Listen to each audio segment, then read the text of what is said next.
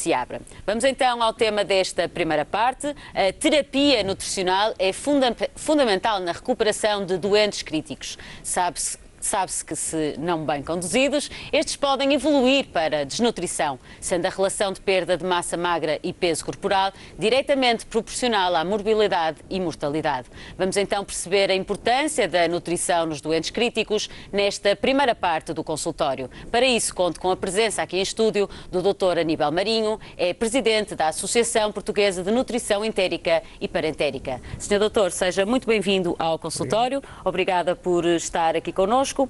Antes de entrarmos na questão da nutrição, vamos se calhar uh, explicar lá para casa o que é que é um doente crítico.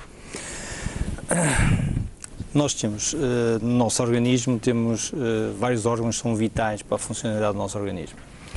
Quando esses órgãos mais vitais entram em disfunção ou falência... São, por exemplo, quais órgãos, doutor? Fundamentalmente somos o aparelho respiratório e o aparelho cardiovascular. Uhum. Associado a isso temos mais quatro órgãos que nós consideramos vitais, que é o sistema central, que é o sistema hematológico, o sistema hepático e o sistema renal. Quando alguns desses órgãos, nomeadamente os mais importantes, que serão ao fim e ao cabo o sistema respiratório e o sistema cardiovascular e o sistema central, entram em falência, muitos destes doentes precisam de um suporte mecânico para os manter vivos.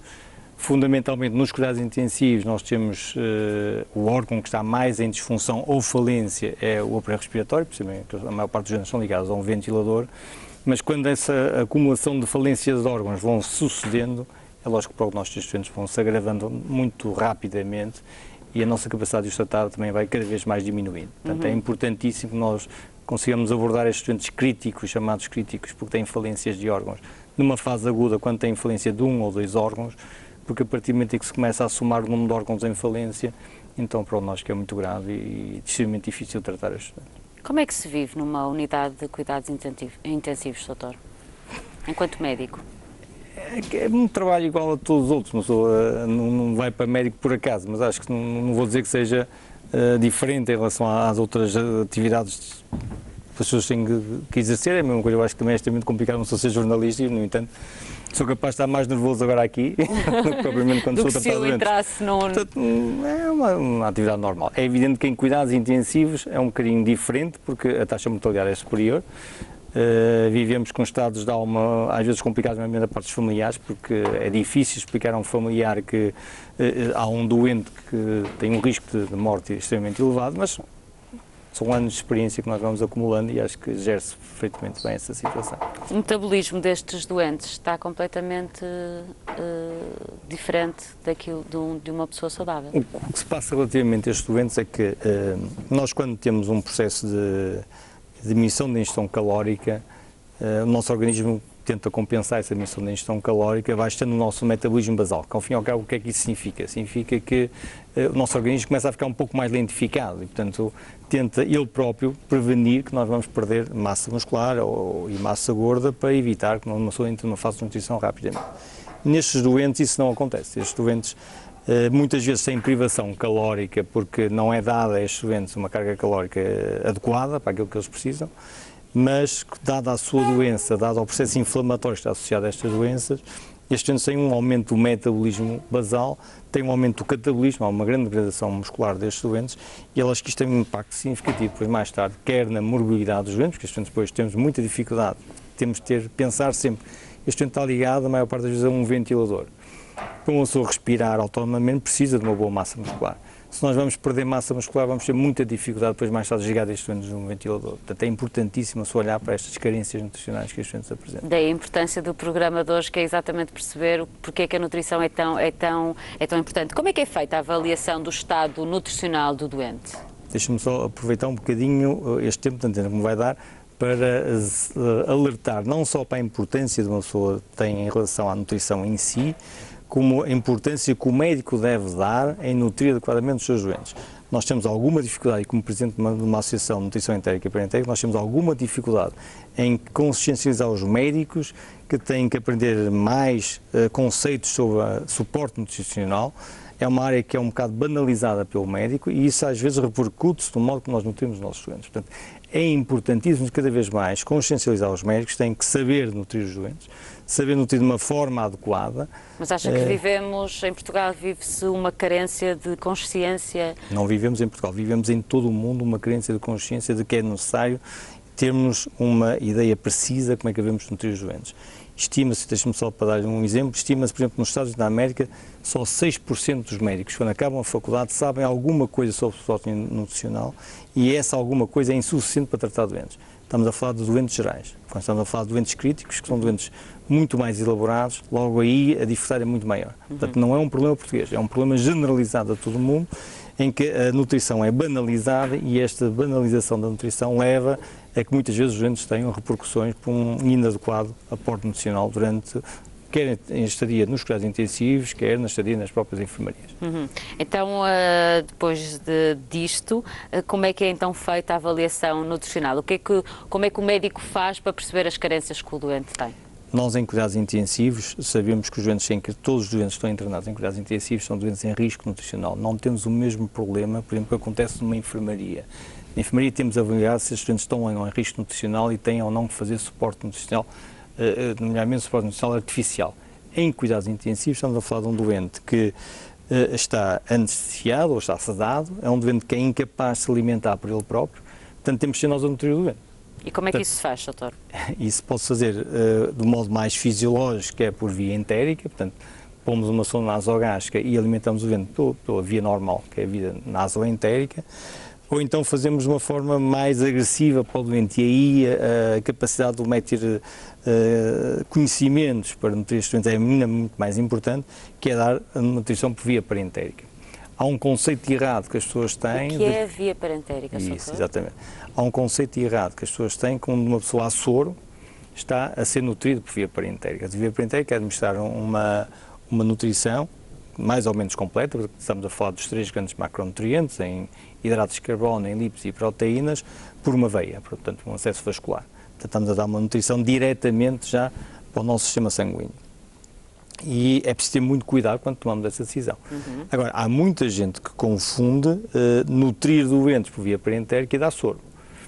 Se nós pensarmos que eh, a maior parte dos doentes que estão nos hospitais fazem soro fisiológico, que uh, para um leigo significa fazer uh, água do mar, portanto é água com sal. Sim. Uh, pode parecer estranho, mas há muitos médicos, não estou a dizer só em Portugal, porque acho que nós estamos a falar em Portugal e não é verdade. Nós pertencemos a comissões europeias e isso acontece em todo o mundo. Há médicos que pensam que dar soro fisiológico a um doente significa que estamos a nutrir estes doentes e estamos a dar uma carga calórica significativa. É, é lá que não estamos a dar nada, estamos, quanto muito, a hidratar estes doentes. Nunca estamos a nutrir. E mesmo quando estamos a dar sós com hidratos de carbono, são chamados sós glicosados, eh, mais conhecidos nos hospitais, esse termo sós glicosados, são sós com hidratos de carbono, a carga calórica que nós estamos a dar não ultrapassa, quando estamos a dar um litro, não ultrapassa mais de 200 quilocalorias. Se nós pensamos que um adulto médio precisará à volta das 1500 quilocalorias, está a ver que é uma carga perfeitamente despropositada claro. para as necessidades dos doentes. Mas mesmo assim, é preferível que deem essa carga que deem um soro fisiológico que não tem interesse nenhum. Então o que é o ideal, doutor? O ideal seria que uh, as pessoas tivessem noção sobre o que é suporte nutricional. Os médicos? Os médicos. Eu tô, não estou. Repare, uh, os médicos são um elo muito importante na cadeia de, de nutricional dos doentes, porque uh, os nutricionistas, temos muitos nutricionistas em Portugal, são muito importantes nesta área. Uhum. Infelizmente, muitos deles não estão empregados e, portanto, não nos podem dar essa colaboração, mas os que estão empregados são extremamente importantes, na, na, quer nos hospitais, quer nos centros de saúde, mas não têm os conhecimentos na área da medicina em si. Ou seja, quando nós estamos a falar, por exemplo, de um doente crítico, é aquilo que, uh, o tema que estamos hoje a abordar, quando estamos a falar de um doente crítico, temos que pensar que estes doentes têm disfunção ou falência de certos órgãos órgãos são importantes em distribuir oxigênio aos tecidos. Ou seja, nós quando estamos a dar macronutrientes a estes doentes, quer pela boca, quer por uma veia, estes, estes macronutrientes vão ter que ser convertidos em calorias. Para serem convertidos em calorias vai haver ser de haver oxigênio nas células para metabolizar estas gramas em calorias. Lógico que se estes doentes têm uma insuficiência da parte respiratória, tem uma insuficiência cardíaca, vai haver uma, uma diminuição da distribuição de oxigênio a estes tecidos. Se eu vou forçar estes tecidos com um aporte calórico exagerado ou até mesmo normal, posso estar a agravar o estado clínico deste doente. E aí o nutricionista não estará tão a par desta situação e tem que ser um médico, juntamente com o nutricionista, uh, estabelecer um plano dietético, entre aspas, para... Mas como é que isso se faz? Como é que o doutor avalia os seus doentes para saber exatamente aquilo que eles necessitam? O mais importante de um doente crítico, numa fase inicial, nas primeiras 24 a 48 horas, é estabilizar o doente do ponto de vista geral, do ponto de vista de funcionamento de órgãos. Portanto, uh, uh, o, o, ponto de vista nutricional, numa das primeiras 24 horas, geralmente não, é, não é importante a mim importa-me fundamentalmente é salvar o doente. Certo. Eu dou-lhe o exemplo típico, o senhor tem um doente em paragem cardíaca, não vai estar a perguntar aos familiares porque é que o doente está em paragem cardíaca. Vou primeiro vou salvar o doente e depois sim vou perguntar porque é que ele está em paragem Mas cardíaca. Mas sendo hoje o tema a nutrição... Portanto, sendo hoje o tema a nutrição, é importante, por um lado, que nós tenhamos a noção que ao fim de 24, 48 horas, depois de termos o industrializado, temos que dar um suporte nutricional a estes doentes. Sabemos por guidelines que existem, quer da Sociedade Europeia de Nutrição Entérica e Pré-Entérica, quer da Sociedade Americana, que nós devemos dar em média 25 kilocalorias quilo peso. Aquilo que eu aconselho a maior parte das pessoas que estão a entrar nesta área da nutrição, porque não, não é fácil e é, que há quem acha que esta nutrição deve ser feita sempre por uma equipa e não por um elemento, é que não exageremos muito no aporte nutricional destes doentes. Ou seja, não devemos pô-los, entre aspas, a morrer à fome, mas também não devemos exagerar logo para a carga calórica ideal, porque podemos correr riscos. Portanto, dar uma carga calórica numa fase inicial entre 20 a 25 quilocalorias quilo peso será o ideal. Uhum. Em termos de nutrição entérica, eh, este, este, este aporte está facilitado, que a maior parte das dietas que nós utilizamos... A nutrição entérica é, é pela via... Pela, pela boca, pela boca. Pode ser pela boca, por uma sonda nasogástrica que nós colocamos e vai ter ao aparelho gástrico. Eh, em termos de nutrição entérica, esta, esta nutrição está facilitada porque, em geral, um mililitro, na maior parte das dietas, responde a uma quilocaloria. Portanto, se eu quero dar 1500 quilocalorias ou 1000 quilocalorias, é lógico que basta dar um litro ou, um litro e meio que rapidamente estou a, cumprir as necessidades calóricas dos doentes em termos de nutrição pré-entérica, esta relação já não é tão, não, não é, não tão específica, ou seja, há uh, produtos que têm 1000 litros e têm 1500 quilocalorias, portanto nós temos de saber exatamente aquilo que nós estamos a dar. Por isso é que a nutrição pré-entérica é um pouco mais difícil de gerir para quem não tem conhecimentos na área do suporte nutricional. Eh, nós, em geral, damos sempre preferência à via entérica, nós usamos a via entérica para comer diariamente, é lógico que devemos dar preferência à via entérica. Quando os doentes são doentes normalmente da área do foro cirúrgico, que tiveram uma cirurgia recente ao aparelho gastrointestinal, são doentes que poderão potencialmente precisar de uma nutrição pré-entérica. Uhum. Quando temos doentes demasiado elaborados, em que nós não conseguimos suprir as necessidades calóricas por via entérica, poderemos ter que suplementar esta via entérica com via parentérica. Muito bem. O que é que a via entérica tem de bom? Posso Pode, acrescente. O que é que a via entérica tem de bom em relação à, à via parentérica? É que tudo o que eu estou a dar eh, numa veia, entre aspas, a falar para um público em geral, vai tudo ser administrado ao doente. Portanto, temos, nessa situação, a carga calórica deve ser insuficiente para as necessidades do doente, para não corrermos riscos. Porque o ser humano é um ser altamente especializado e consegue perceber numa fase aguda as asneiras que nós fazemos. Se nós formos uh, a um restaurante e comemos exageradamente, o nosso organismo o que é que faz? Nós ficamos infartados, muito, uh, há uma lentificação da nossa digestão e, portanto, uh, a absorção vai ser lenta e progressiva. E, e mesmo nós, ao sentirmos infartados, conseguimos parar de nos alimentar. Quando nós temos os doentes, quando nós temos os doentes a, a fazer nutrição entérica, acontece o mesmo. Quando nós damos um aporte calórico exagerado, os doentes fazem estase gástrica e nessa situação estado gástrico significa o quê? Que o, o, tubo digestivo não consegue fazer a digestão daquilo que nós estamos a dar, então começa, nós fazemos períodos de, de drenagem gástrica, portanto pomos a sonda em drenagem uhum. e se essa drenagem for acentuada, sabemos que o tubo digestivo não está a tolerar uh, a nutrição que nós estamos a dar. Quando é dado por via parentérica, tudo é dado ao doente. Esse tudo pode ser grave e muitas vezes pode dar complicações e que podem levar à morte do próprio doente. Era isso que eu lhe ia perguntar, o que é que pode acontecer se o aporte nutricional não for o adequado? eu continuo a dizer que prefiro um doente uh, subnutrido, não, não, não um doente com ausência total de nutrição, mas eu continuo a dizer para as pessoas que não têm experiência, prefiro que optem por uma subnutrição, ou seja, as tais 15, 20 quilocalorias quilo de peso, ter um doente excessivamente nutrido. Nós no passado tivemos essa experiência, quando surgiu a nutrição parenteica por volta da década de 60, uh, havia o conceito, nomeadamente dos cirurgiões, que são eh, médicos extremamente práticos e, portanto, tentam logo implementar tudo o que vem de novo, eh, e bem, ainda bem que assim é. Eles chegaram à conclusão que a desnutrição aumentava nestes doentes a morbilidade e a mortalidade. O que é que eles fizeram? Começaram a exagerar no aporte nacional, no sentido de tentarmos rapidamente restabelecer o peso do doente e, portanto, melhorarmos o prognóstico destes doentes. e chegou-se à conclusão no fim da década de 80 que isto aumentava drasticamente a mortalidade dos doentes. Porque eu dar uma grande carga calórica a um doente, quer por via entérica, quer por via parentérica, e nessa altura usava-se muito a via parentérica, estou a aumentar as, o aumento das glicemias dos doentes, estou a aumentar as alterações da, da, dos triglicerídeos dos nossos doentes, estou a aumentar a produção de dióxido de carbono dos nossos doentes, ou seja, há uma série de complicações que surgem por um excessivo aporte calórico nestes doentes. Portanto, é preciso ter muito cuidado, seguir as normas, 20 quilocalorias, 25 quilocalorias, para quem tem experiência por quilo de peso, e muitas vezes as guidelines são boas, mas para quem tem experiência. Para quem não tem experiência, talvez estamos um bocadinho menos, um bocadinho mais a medo, é muito mais seguro do que estamos a seguir as guidelines e muitas vezes estamos a prejudicar o próprio doente. O doutor está mesmo aqui a apelar eh, à atenção dos médicos. Eu estou, repara, uh, muito rapidamente digo-lhe assim, eu ando na área da nutrição artificial há mais de 20 anos. Ainda no outro dia tivemos uma, uma falado com um colega que também anda nesta área e ele próprio disse, andamos nisto há 20 anos, fartamos de fazer curso e notamos que não há uma consciencialização dos médicos ainda suficiente para fazer um suporte nutricional adequado nos hospitais. Mas não é em Portugal. Nós temos reuniões com a Sociedade Europeia de Nutrição, tivemos uma agora em Nice em janeiro, e eles queixam-se exatamente da mesma situação, ou seja, há uma desvalorização muito grande do suporte nutricional dos doentes nos hospitais, mais ainda nos doentes críticos, eh, quando e é, é fundamental. Quando é fundamental. Ainda para mais, porque os estudantes de medicina não têm, na maior parte das vezes, nenhuma cadeira sobre suporte nacional durante a sua permanência Isso é uma falha grave. É uma falha grave, porque não, sou, não só estou a falar na área da desnutrição, uhum. como estou a falar na área da obesidade, portanto, o desvio nutricionais, e nós sabemos que a obesidade, neste momento, é uma epidemia do século XXI e nós temos que saber resolver.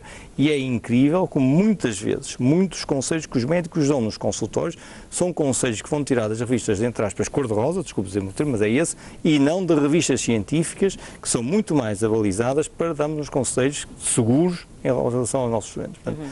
Acho que deve haver uma, uma grande incentivação, quer da parte do, o, dos reitores das próprias faculdades de medicina, que nós temos que começar a formar os nossos alunos em suporte nacional. Não desvalorizamos o suporte nacional porque eh, não há dúvida que estamos perante uma epidemia e se nós não soubermos tratar vamos ter consequências muito nefastas nas próximas décadas. Muito bem. O senhor doutor é também presidente da Associação Portuguesa de Nutrição Entérica e Parentérica. Eu até já consigo perceber porquê, depois desta entrevista. uh, o que é que nos tem a dizer sobre esta associação? Também tem um papel importante eu já tive a sorte de ter sido presidente há três anos atrás, descansei durante três anos e voltei novamente, uh, já devia ter tido juízo, não tive, voltei novamente outra vez a ser presidente desta associação. Nós vamos ter uma, eh, uma, a minha atuação há três anos atrás vai ser totalmente diferente desta atuação que vamos ter agora nos próximos três anos. Vamos ter que ser muito mais agressivos em termos de formação. Eu acho que não vale a pena começarmos a fazer congressos pequenos em que vamos ter lá muitas pessoas da área da saúde, mas temos muitíssimo poucos médicos que têm acontecido sistematicamente. Neste ano vamos fazer uma coisa totalmente inovadora, vamos fazer um congresso em abril num cinema, vai ser a primeira vez que fazemos um congresso nacional, qualquer sociedade, num cinema, uh, no cinema, pode é. ser um sítio? Pode, pode. No Norte Shopping, no cinema usamos uhum. no Norte Shopping, que permite-nos, temos lá cerca de 1.900 pessoas. Aberto ao, ao público? Uh, podemos, vamos ter a capacidade de, de, de, permitir que cerca de 200 pessoas do público em geral possam ir ao cinema. Vamos tentar ter uh, uma envolvência à volta do, do, do, próprio, do próprio cinema no Norte Shopping, estamos a negociar isso com a em direção ao Norte Shopping, para termos algumas bancas para e formação. E a grande temática será esta, a nutrição? E a grande temática será a nutrição em todo o conceito, não tem nada a ver só com cuidados intensivos, tem a ver sim. com a obesidade, tem a ver com o desporto, a área de desporto relacionada com a nutrição, que também há muita É cada falha. vez mais importante. Cada vez mais importante, tanto na a nutrição no doente idoso, ou na pessoa saudável idosa, que é uma sim. área extremamente importante, na pessoa que tem demência, na área pediátrica, portanto vamos abranger todos, temos oito salas a funcionar em simultâneo, temos dois dias só dedicados à nutrição. Eu faço um apelo aos médicos que vão a, a esta formação e digo-lhe uma coisa. Se há congresso que é muito barato, é este. Porque a maior parte, ou cerca, cerca de 80% das pessoas que vão a este congresso, não pagam sequer a inscrição. E, inclusivamente, para serem sócios da APNEP, pagam uma cota mínima de 15 euros e nós percebemos na atualidade que existe grande dificuldade económica, não só nas pessoas mais próprias, mas também nos próprios mestres também têm algumas dificuldades económicas. Claro. Nós, todos nós temos as nossas, os nossos compromissos e nós tivemos, mostramos alguma solidariedade com os nossos sócios para todos os sócios que pagaram as cotas até 2012 não pagam a cota de 2013. Ou seja, eu acho que todas as sociedades também deviam ter este tipo de iniciativa também para aliviar os médicos e, portanto, numa fase de crise tentamos resolver e não forçar ainda mais a carga, a carga monetária nesses médicos. Portanto, nós, na maior parte das pessoas que vão ao nosso congresso, são pessoas que vão sem gastos e têm eh, uma área excelente para poder estarem à vontade, têm vários temas para poderem assistir, tem uma área de restauração envolvente ao Congresso que é esplêndida, é grande, que dá para qualquer tipo certo. de carteira que possa existir, portanto, só falta é aparecerem lá. Já ficou o convite feito. Doutor Aníbal Marinho, foi um prazer recebê-lo aqui no consultório. É Muito obrigada por, por ter estado connosco nesta primeira parte.